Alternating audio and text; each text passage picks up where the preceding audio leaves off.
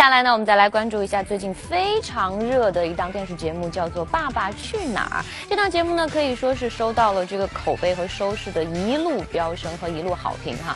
但是呢，呃，也有人说，哎呀，这个节目呢，会不会有一些质疑，在作假？到底是什么呢？关注一下。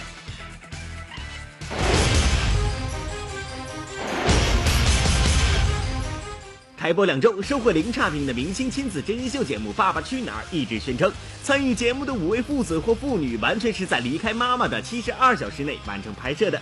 然而近期，当五位星爸带着孩子到云南文山录制第五、六期节目时，却被探班的媒体记者发现，明星爸爸们并不是一个人带着孩子前往拍摄地。林志颖贴身有一名外国人，据工作人员透露，他是 Kimi 的语言老师。而此次拍摄不放心孩子的叶一茜，则一直陪老公孩子到了县城。在明星的随行人员里，还有保姆、助理、化妆师、摄影师等跟随。也不方便跟你说说什么，反正我所知道的，反正就是都在稿子里了。上班时间就三天，那我们都都站在十米开外，能远远看着。我没有带有任何主观的东西去去说这个事情，我全是。客观呈现的。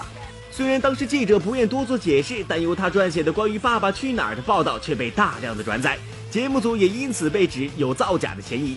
对此，陪同女儿去拍摄地的叶一茜也在微博上做出解释：“我并不是不放心，而是因为田亮在福建拍戏，没有办法到北京接女儿去云南。节目组为了孩子的安全，破例同意由我带女儿去目的地和爸爸会合。”一下了飞机，我就被安排到其他地方，不允许靠近摄制组，以免影响拍摄。他没办法走，因为拍摄完两天之后，他还得把孩子带回到北京。就是因为他在县城呢，他会比如说晚上或者什么时候偷偷过去看孩子什么吗？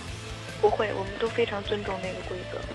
这一次要不是栏目组，就是这样安排的话，叶一茜也不会到现场去。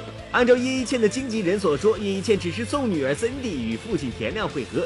节目拍摄的七十二小时里，父亲和孩子是在距离文山市区一个半小时的普者黑村，而包括妈妈在内的各种随行人员也都在文山市区等待。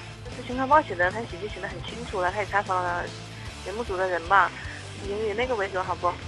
因为所有明星家庭的陪同人员都是不能进村的。从节目的角度来讲，我们不希望孩子因为妈妈的存在而产生依赖性，也让真人秀节目失去了真实性。